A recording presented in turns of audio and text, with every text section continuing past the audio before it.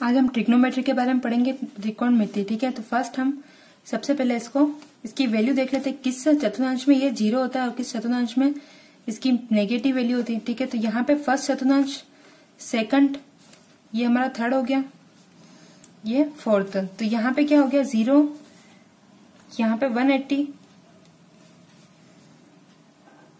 ninety degree three sixty degree यहाँ पे to seventy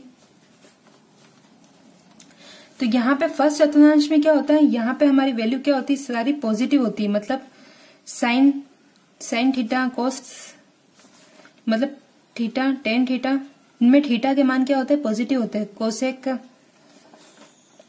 sec theta cot theta इसमें हमारे पास सब और चौथे चतुर्थांश में क्या होता है? यहाँ पे हमारे पास कोस और सेक की वैल्यू क्या होती है? पॉजिटिव होती है। ठीक है?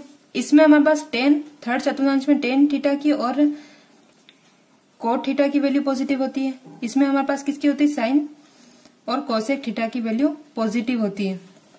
बाकी सब में अगर ये वैल्यू इसमें आ जाए तो थर्ड चतुर्थांश में तो इसकी वैल्यू क्या होती? है नेगेटिव होती है। अब हम क्या करेंगे? इसका चार्ट बनाएँगे। तो सबसे पहले हम डिग्री का नाप ले लेते हैं। यहाँ पे हो जाएगा zero thirty degree forty five sixty और नाइन्टी डिग्री का हम निकालेंगे। रेडियन में हम निकालते हैं।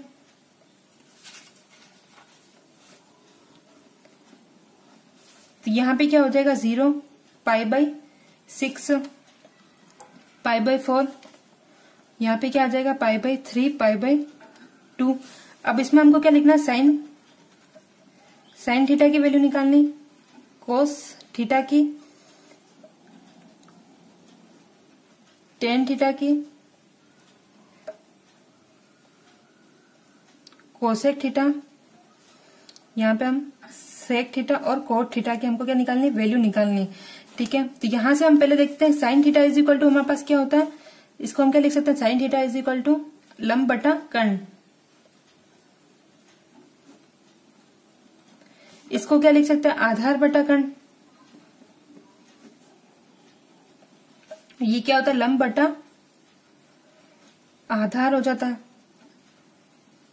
कोसेक थीटा को हम क्या लिख सकते हैं? लंब कर्ण बटा लंब cosec theta is equal to क्या होता है? One by sine theta sec theta को, sec theta is equal to क्या होता है? वन बाई कोस थीटा तो यहाँ पे हमारे पास इसका उल्टा हो जाएगा कर्ण डिवाइड बाय आधार। और यहाँ पे आ जाएगा आधार बटा कर्ण। अब हम क्या करेंगे? इसकी वैल्यू निकालेंगे। तो सबसे पहले हम क्या करेंगे? यहाँ पे वैल्यू निकालने के लिए ज़ीरो में फोर का डिवाइड करेंगे। इसमें वन में फोर का, यहाँ पे टू में फोर का डिवाइड इसी तरह यहाँ पे थ्री और इसमें फोर का। फोर डिवाइड बाय फोर हो जाएगा। जब हम root zero divide by four का हम निकालेंगे तो यहाँ पे साइन डेटा की वैल्यू क्या आ जाएगी? ज़ीरो।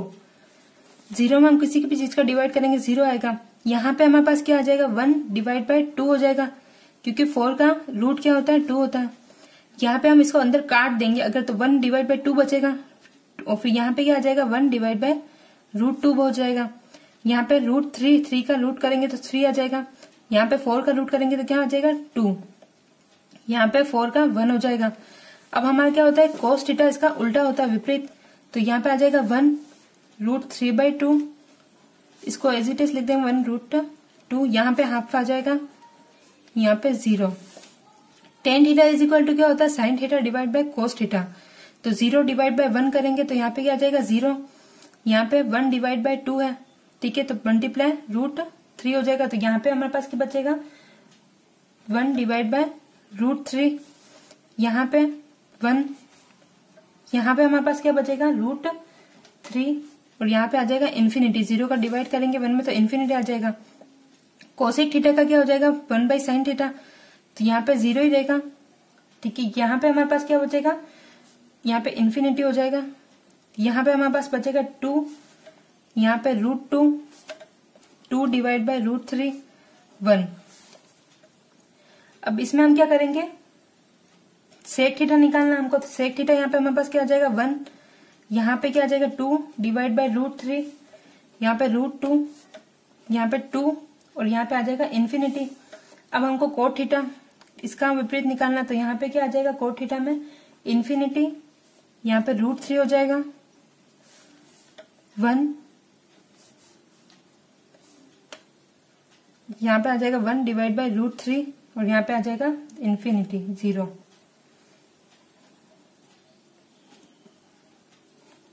ठीक है तो ये हमारी पूरी टेबल बन गई कि sine theta sine zero degree है तो ज़ीरो होगा साइन थर्टी डिग्री है तो हाफ़ फोर्टी फाइव डिग्री तो one by root two sixty degree root three divide by two और नाइन्टी डिग्री है तो वन यहाँ पे कोस थीटा ज़ीरो है तो वन थर्टी डिग्री है तो root three by two forty five है तो वन बाई रूट टू और सिक्सटी है तो वन बाई टू और ज़ीरो टेन थीटा की भी वैल्यू ऐसे निकाल दी कोसेक थीटा भी, और सेक थीटा और cot theta sine square theta plus cos square theta is equal to होता है वन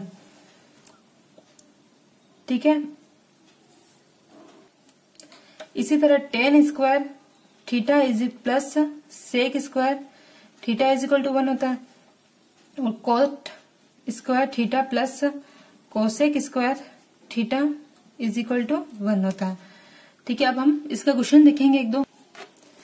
क्वेश्चन नंबर वन देखेंगे। यहाँ पे हमको क्या दे रखा है? X is x tan forty five degree cos sixty degree is equal to sine sixty degree cot sixty degree तो हमको क्या निकालना है? एक्स की वैल्यू निकालनी है। टेन फोर्टी फाइव डिग्री हमको यहाँ पे दे रखा है। टेन फोर्टी फाइव क्या होता है? वन होता है। तो एक्स मल्टीप्लाई वन लिख लेंगे हम यहाँ पे। कोस सिक्सटी डिग्री हमारे पास क्या होता है? कोस सिक्सटी डिग्री हाफ़ होता है। मल्टीप्लाई हाफ़ हो जाएगा यहाँ पे। Is equal to sine sixty degree sine sixty degree होता है रूट थ्री बाई टू और कॉन्ट सिक्सटी डिग्री क्या होता है हमारे पास? One by root three three से थ्री कैंसिल हो जाएगा। तो यहाँ पे हमारे पास क्या बचा? X is equal to one बचेगा। तो एक्स की वैल्यू हमारे पास क्या आ जाएगी? वन सेकंड क्वेश्चन हम देखते हैं tan theta is equal plus cot theta is equal to हमको क्या दे देगा? सिक्स तो tan square theta plus cot square theta is equal to क्या होगा? ठीक है तो यहाँ पे हम क्या करेंगे? सबसे पहले इसका स्क्वायर करेंगे। Tan theta plus cot theta का होल्ड स्क्वायर कर देंगे। तो इसका भी स्क्वायर हो जाएगा सिक्स स्क्वायर अब इसको हम सोल्व करेंगे। तो यहाँ पे tan square theta plus cot square theta plus two tan theta